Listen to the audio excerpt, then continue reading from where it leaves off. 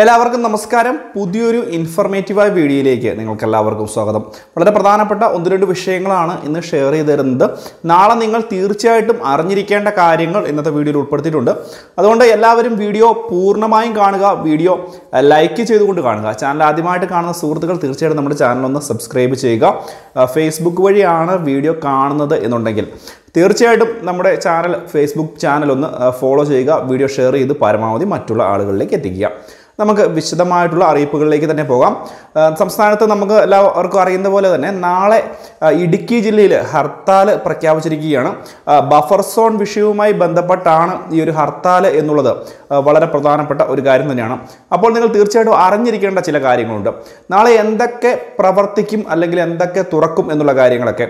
പ്രധാനമായിട്ടും ആശുപത്രിയുമായി ബന്ധപ്പെട്ടും അതുപോലെ തന്നെ ശബരിമലയിലേക്ക് പോകുന്ന തീർത്ഥാടകരെയും ഒന്നും ഹർത്താൽ ബാധിക്കില്ല എന്നുള്ള ഒരു അറിയിപ്പ് ഔദ്യോഗികമായിട്ട് തന്നെ എത്തിയിട്ടുണ്ട്.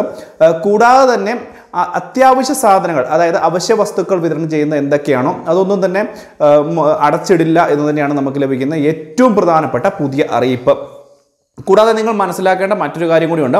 വളരെയധികം വിദ്യാർത്ഥികൾ നമ്മളോട് ഇടുക്കി ജില്ലയിൽ നാളെ സ്കൂളുകൾക്ക് അവധിയാണോ എന്ന് ചോദിച്ചുള്ള മെസ്സേജുകളൊക്കെ അയച്ചിട്ടുണ്ട്. പക്ഷേ നമുക്ക് ഇപ്പോൾ അറിയുവാൻ സാധിക്കുന്നത് ചിലയിടങ്ങളിലൊക്കെ സ്കൂളുകൾ തുറന്ന് പ്രവർത്തിക്കും എന്ന് തന്നെയാണ്.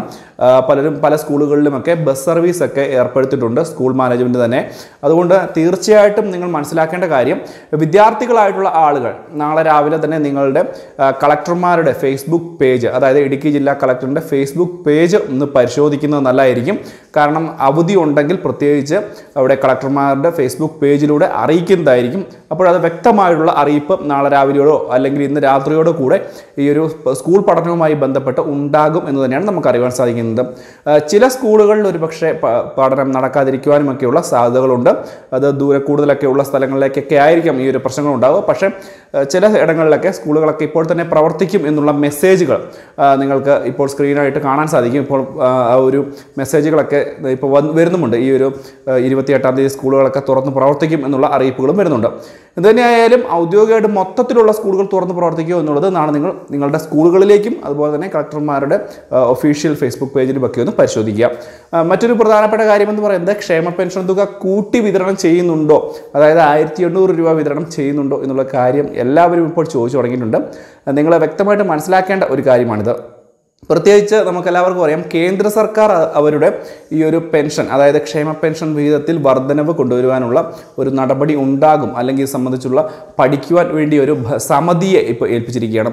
ഇതിന്റെ റിപ്പോർട്ട് പ്രകാരം ഇരുന്നൂറ് രൂപ മുതൽ അഞ്ഞൂറ് രൂപ വരെ ക്ഷേമ പെൻഷൻ തുക കേന്ദ്ര സർക്കാരിന്റെ വിഹിതം വർദ്ധിപ്പിക്കണം എന്നുള്ള അറിയിപ്പുകളാണ് വരുന്നത്. ഒരുപക്ഷേ ഇത് കേരളത്തിൽ എങ്ങനെ ബാധിക്കും എന്നുള്ളത് കാര്യം. പ്രത്യേകിച്ച് ഇപ്പോൾ തന്നെ ആയിരത്തി അറുന്നൂറ് രൂപ കേരളത്തിൽ ക്ഷേമ പെൻഷൻ വിതരണം ചെയ്യുന്നുണ്ട്.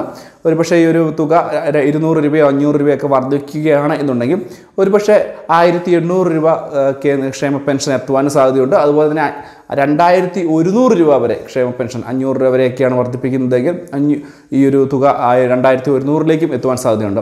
കൂടാതെ തന്നെ ക്ഷ- കേന്ദ്ര സർക്കാർ ഈ ഒരു വിഹിതം വർദ്ധിപ്പിച്ചാലും ഈ തുക വർദ്ധിപ്പിക്കാതിരിക്കാനും സാധ്യതയുണ്ട്. പ്രത്യേകിച്ച് മനസ്സിലാക്കേണ്ട കാര്യം ഇപ്പോൾ തന്നെ കേരളത്തിൽ ഉയർന്ന ക്ഷേമ പെൻഷൻ തുകയാണ് വിതരണം ചെയ്യുന്നത്.